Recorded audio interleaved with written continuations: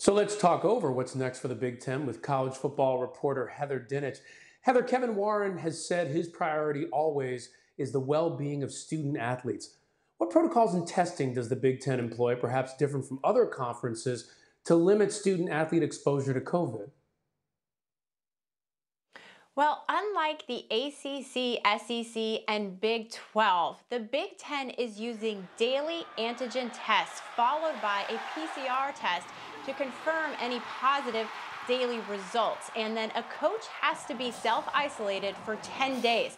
But the biggest difference is that the earliest a player in the Big Ten who tests positive can possibly return is 21 days. That's because they self isolate for 10 days as recommended by the CDC guidelines. But after that, they go through a period of cardiac testing plus what they call a return to play progression, where they gradually increase from light exercises to being ready to actually get back in a game.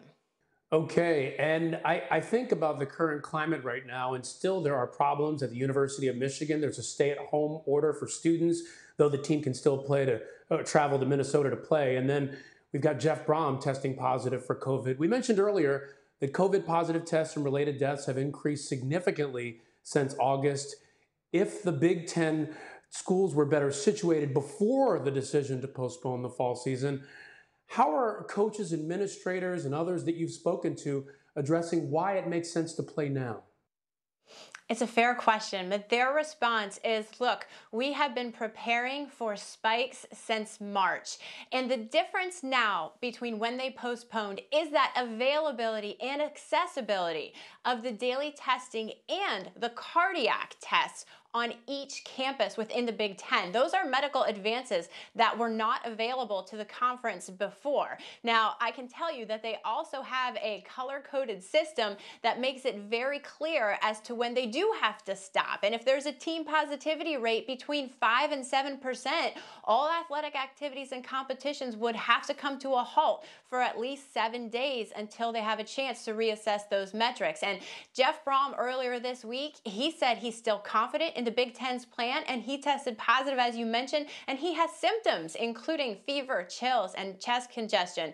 But everyone I talked to said they're confident with the plan, and I did talk to every single Power 5 conference commissioner. And while no one is under any illusion that they're getting through this season um, without any interruptions, the general consensus is look, if we can play, we will play. Heather, you know, other conferences, the SEC, the ACC, obviously, began play five weeks ago. How will the late start for the Big Ten impact Big Ten schools that could be in the conversation for the college football playoff? Well, Ryan, there's no question they're playing from behind. Alabama and Clemson each have already played at least four games. They're undefeated. Both of them have at least one win against a top 25 opponent. And now the Big Ten has to see if Ohio State, Penn State, Wisconsin can all live up to the billing in a span of eight games in eight weeks. And look, if they can, there's a possibility that the Big Ten can put two teams into the college football playoff. But we will learn a lot more on Halloween when Ohio State and Penn State face each other. All right, that'll be a key matchup right there. Thanks for watching ESPN on YouTube. For live streaming sports and premium content, subscribe to ESPN Plus.